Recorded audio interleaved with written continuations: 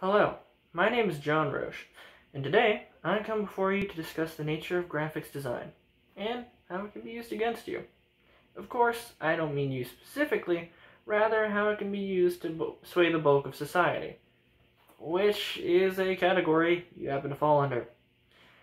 Sinister phrasing aside, I do intend to discuss the various methods through which graphics design can target someone without them ever knowing. These broad methods include complexity of design, colors present, and how often a design is shown. Zenner from Visual Communications Quarterly in 2001 found that while most respondents preferred a high quality ad, over a third opted for the low quality design. It should be noted that this preference for low quality design was predominantly, though not entirely, from older participants. Additionally, the terms high and low quality can be deceptive. They do not mean that designs are poorly or well done. Rather, the terms refer to their complexity. A high quality design would be more modern and complex, likely including greater line work and subtle color variation to enhance contrast and help draw more focus to the piece whereas a low quality design would be more simple and traditional in style. The reason that I am discussing this is to demonstrate that if you see a certain type of advertisement, like for instance a higher quality one, you can make an assumption as to what demographic may be targeted. This is a tool that companies are almost certain to use due to its reliability and broad efficiency. Uygur from the International Journal of Eurasia Social Sciences in December of 2019 discusses the use of color and its value, as it has the ability to draw one's focus to specific areas and simultaneously act as a symbol with its own unique meanings. Uygur comes to the conclusion that no one factor of a design was intrinsically able to be claimed as any more important than any other part. For these reasons, color is just as crucial as any other element in a design.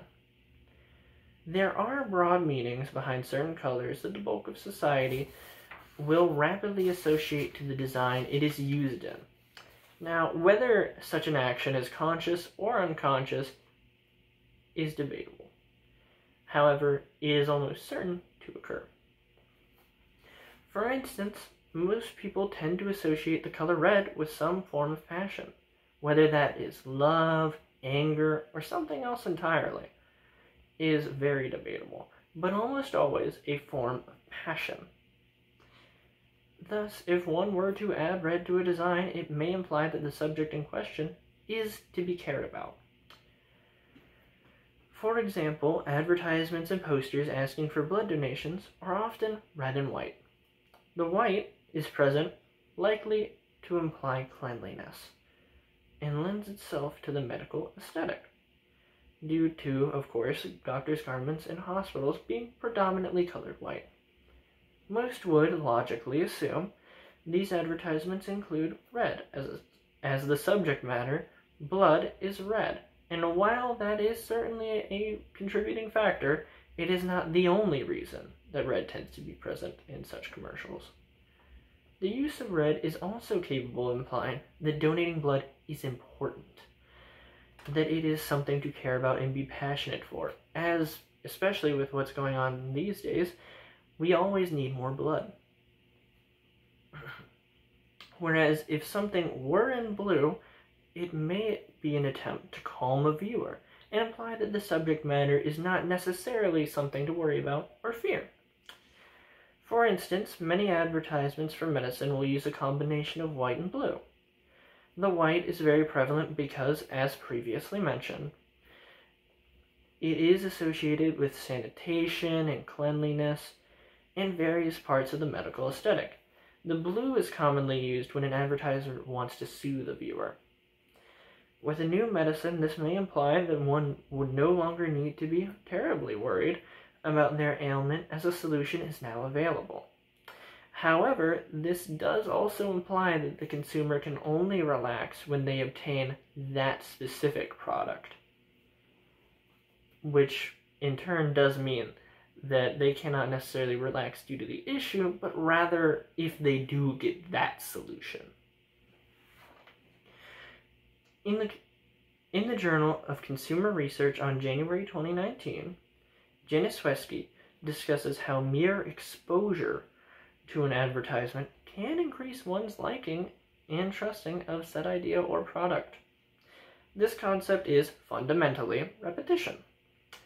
The reason I'm citing this source is to explain that should an advertisement be faulty or fundamentally unappealing to you for any reason, there is still a possibility that a central concept of graphics design, repetition, of the message, color, design, elements present, or the advertisement as a whole, can still convince you to appreciate it, at least to some extent. Now, this heightened appreciation may only be a marginal effect, for instance, shifting one's opinion from hate to tolerate, but such an effect would still be noteworthy in some senses. Let us say that a group is discussing a company, and one person in this group passionately despises that company. This person is likely to argue against the company's reputation, and in doing so, may convince a few others in the group to spite that company as well. However, it is possible that if exposed to enough of the company's advertisements, this person's spite may simmer enough so that they would never speak about the company negatively, even if they don't necessarily support it. While such may not be enough to convince the most passionate member of the group to buy from the company, it may prevent the passionate person from persuading others, thus keeping potential customers uh, while not losing any, and being a net positive, of course, for the company itself. Overall, graphics design is able to communicate information in a relatively subtle manner and able to, for the most part, seamlessly target various groups of people in order to convey specific messages and sway their opinions, often without them even realizing it's occurring. All of this is possible through clever uses of color, inciting specific feelings in people, varying complexity of design, targeting certain demographics, and persistent advertising decreasing negative reactions towards the company or product in question. In light of this, I would suggest you give a little more focus to the next advertisement you come across, because it might just be made for you.